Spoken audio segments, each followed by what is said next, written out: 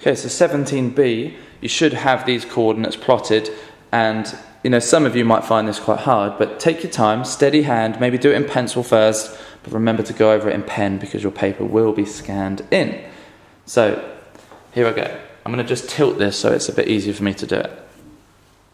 So we're going up, remembering that it's a curve. So try and hit this coordinate, and we have to curve it. So don't head directly to it because it's a curve.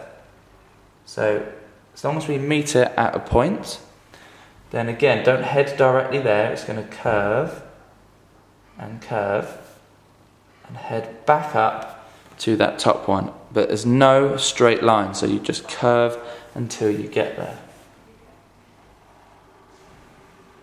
And there we have it.